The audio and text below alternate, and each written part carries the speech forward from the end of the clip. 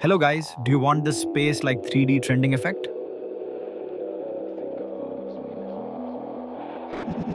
Let's start the tutorial. First make a black solid.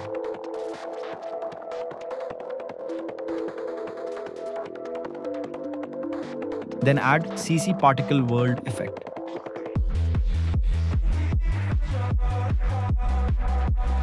Off all the grids and follow my settings.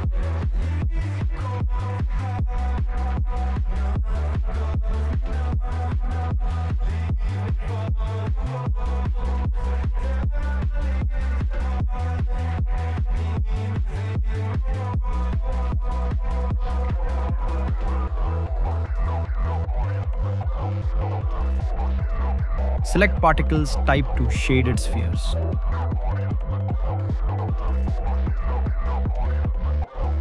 You can change the color of particles from here.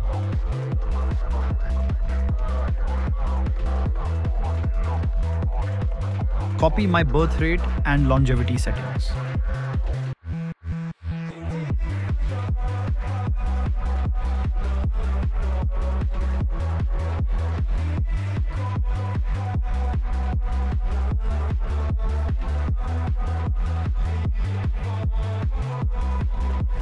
As you can see, the particles are so fast, we are going to stretch its length to make it slow.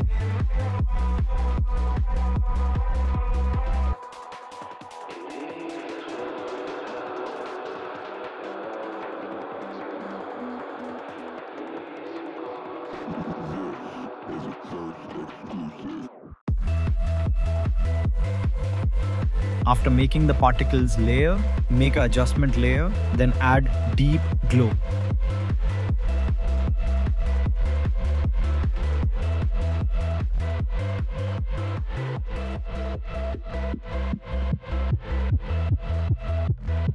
I am gonna make a basic animation to show you guys as an example. First create a camera.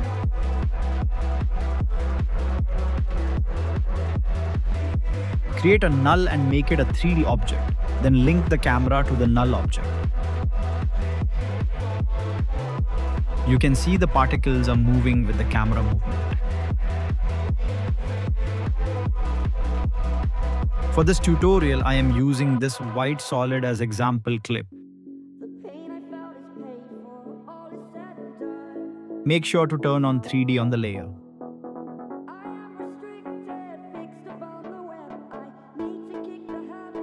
Scale up the particle layer to get more space for animation.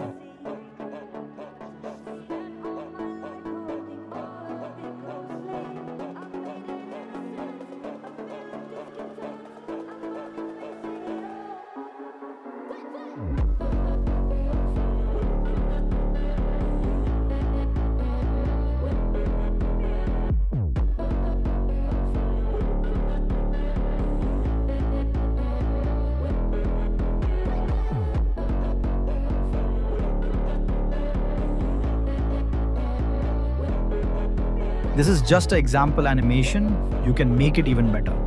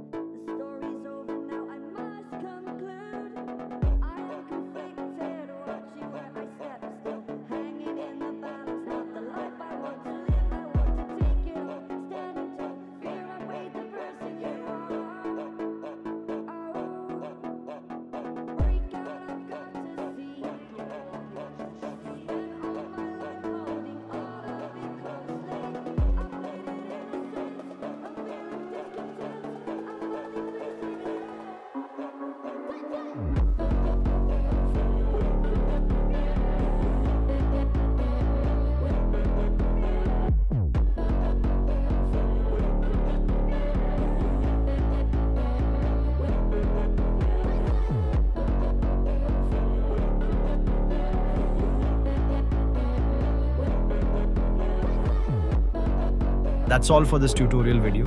And thank you so much for 100k subscribers. It really means a lot.